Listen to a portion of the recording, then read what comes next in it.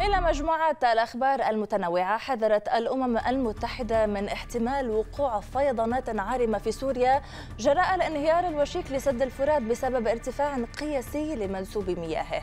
وأصدرت منظمة الأمم المتحدة تقريرا جاء فيه أن منسوب المياه في بحيرة الأسد الاصطناعية خلف سد الطبقة ارتفع لنحو عشرة أمتار ما أدى إلى تسريب المياه من المنسوب الآمن للبحيرة؟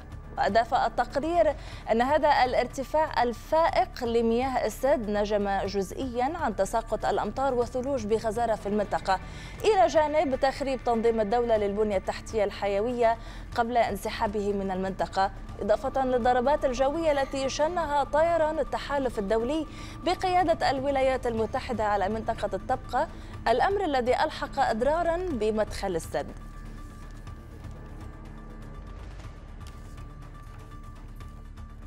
حول هذا الموضوع ينضم إلينا جلال الحمد مدير مرصد العدالة من أجل الحياة من الحدود السورية التركية أهلا بك سيد جلال يعني تحذيرات الأمم المتحدة اليوم تنذر بخطر حقيقي قد يقع في حال استمر الوضع على ما هو عليه في سد الفرات يعني كيف تقيمون الوضع؟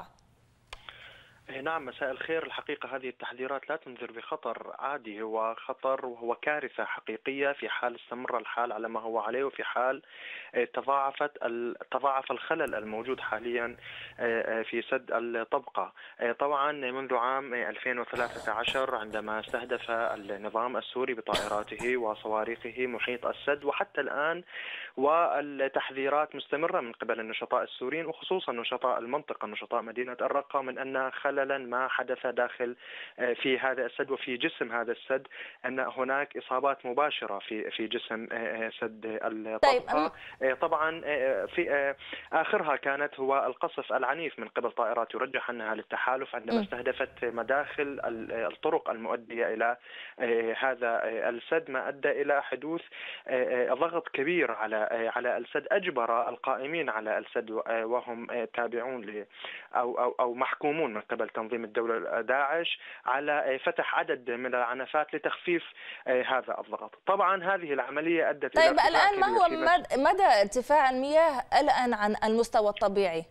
نعم ارتفاع المياه الآن هو عدة قد هناك تقديرات تقول إلى أنه أكثر من سبع أو ثمانية أمتار وهذا ارتفاع كبير جدا. طبعا أولا أدى إلى غمر عدد كبير مساحات كبيرة من الأراضي الزراعية المجاورة للسد. ثانيا إذا استمر ارتفاع هذا المنسوب يعني أن دعينا نتكلم عن محافظة دير الزور التي انهارت نعم. فيها كل الجسور نتيجة القصف في الفترة الأخيرة. فارتفاع هذا المنسوب يعني انقطاع الصلة أو إمكانية التنقل تماما بين ضفتي الفرات. المدنيون الآن يتنقلون بعد انهيار الجسور عبر العبارات بين ضفتي النهر. الآن إذا استمر هذا الارتفاع يعني احتمال كبير انقطاع هذا هذا هذه القدرة أو هذه الإمكانية في التنقل وبالتالي سينعكس هذا بشكل سلبي على الحياة اليومية للمدنيين ما يهدد طبعا المدنيين في محافظتي دير الزور والرقة بشكل مباشر. نعم. شكرا لك جلال الحمد مدير مرصد العدالة من أجل الحياة حدثنا من الحدود السورية التركية.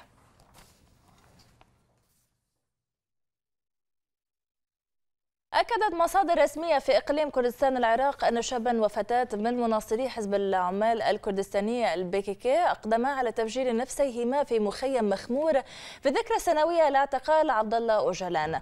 وقال جمال مرتكى مسؤول قوات البشمركة في محور مخمور في تصريح لموقع الحزب الديمقراطي الكردستاني إن شابا أقدم على تفجير نفسه بمناسبة الذكرى السنوية لاعتقال أوجلان كما أقدمت فتاة أيضا على تفجير نفسها لذات السبب مضيفا أن التفجيرات لم تكن إرهابية.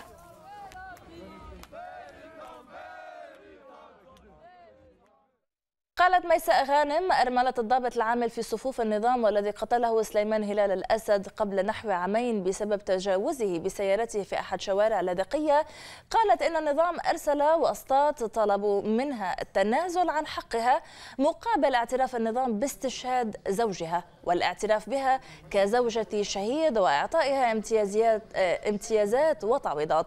منوهة إلى أن مكتب الشهداء لم يعترف بمقتل زوجها وأنه لا يوجد اسم له في المكتب المكتب حتى إن اسمه لم يقترح كشهيد ولم تقدم لهم لم تقدم لهم حكومة النظام أي دعم سواء مادي أو معنوي. مؤكدة أنها لن تتنازل عن حقها بمحاكمة قاتل زوجها ولم تفاوض أحدا في ذلك.